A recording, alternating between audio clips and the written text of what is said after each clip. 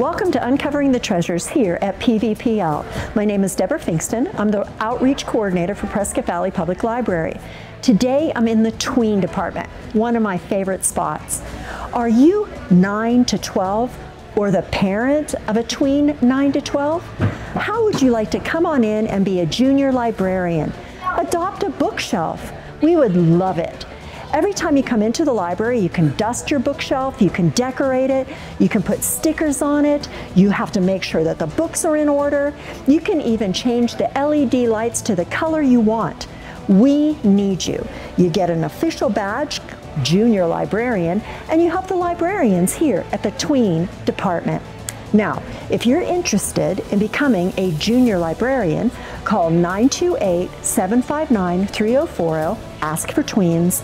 You can also go to our website and look up all of the things that are here in the tween library.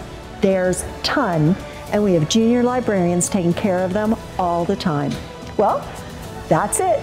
See you next month.